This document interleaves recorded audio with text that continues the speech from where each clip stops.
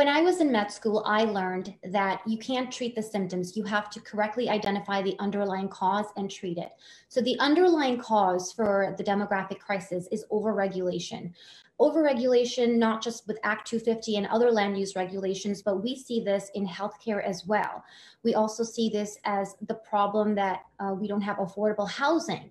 So, um, deregulation and expansive deregulatory uh, program is in order that would open up the economy, that would create upwardly mobile jobs where young people, middle class families can save for retirement, can uh, afford to buy a house and raise their children. That would be the, the way to go. It's very important that we diversify our economy. Right now, it's very much uh, focused on tourism and the service sector, and we've seen what's happened with the COVID pandemic.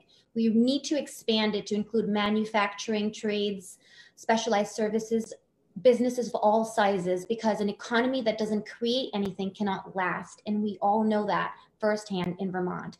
So that would be very important and prioritizing the, the value of work giving access to different forms of productive labor. That's very important as well to attract all kinds of young people and families to Vermont.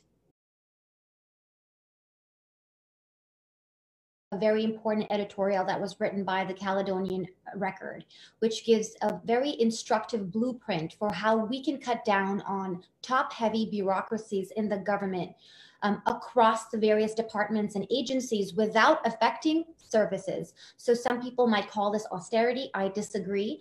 We can cut down on uh, administrators who have six figure salaries um, that, that really you know doesn't won't hurt vermonters. So that's a great place to start like the department of transportation for example. Um, that's one aspect i would i would go to that too. I would also add the 1.42 billion dollar all payer aco model that is run by OneCare there also um, there is a lot and lot of uh, inefficiencies, inefficiencies waste we can really cut down on that. And finally, the nonprofit sector, which is also a billion dollar industry and acts as a shadow government, there's a lot of duplication of services because there's no oversight or accountability from the government. So these are uh, there are a wide range of places where we can cut down on our really large bloated uh, bureaucracy without hurting Vermonters by cutting down any services.